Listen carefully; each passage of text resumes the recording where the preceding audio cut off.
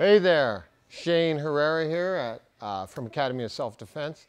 Um, and uh, I know that right now times are kind of crazy. You feel like you might not have somewhere you can work out or stuff you can do, but um, the beauty of that is you can still do this at home. Um, I think that uh, my two sons, both teenagers, are home, and I think that they're uh, probably going to want to kill me after a couple days of being home uh, with me.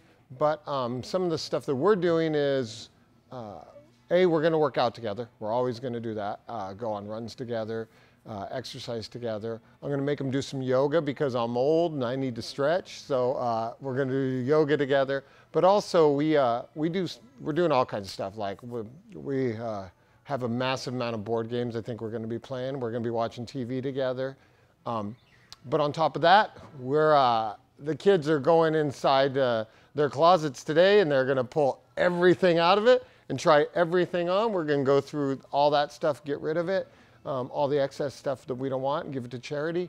Um, also, uh, on a nerdier level, uh, we started an in-house book club. So um, my wife and I and the kids are all reading the same book and then um, we'll read it for a few days, like, you know, three or four days, and then we're going to discuss what happened in the book. And um, I think that what's by my calculations, we could probably go through about 10 books uh, in this time period. So it'll give us something to do other than just watch TV. Um, we will be watching TV, but hopefully not too much.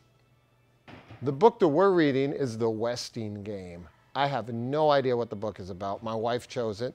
Um, next, we're going to let one of the kids choose the next one, then the other kid, and then I probably get a pick last because that's how everything works in my house.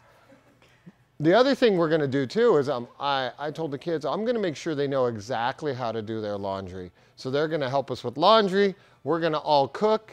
Um, we're going to all clean together. And the kids were like, I don't want to spend hours cleaning every day. I'm like, that's the beauty. If we're all cleaning, it's going to take us about 45 minutes a day uh, for us to clean. And within a couple days, I think the house is going to be amazingly spotless. So um, if you're trying to think of things to do, you can always do work around the house. You can always do exercise. You can always do stretching.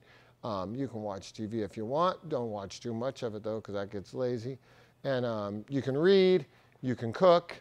Uh, you can do everything. Also remember that it's going to be super easy for you to eat all those cookies and all those snacks right now, but um, the last thing you want to do is come out of this hibernation and be all kinds of chubby. So take this time to eat right and take care of yourself.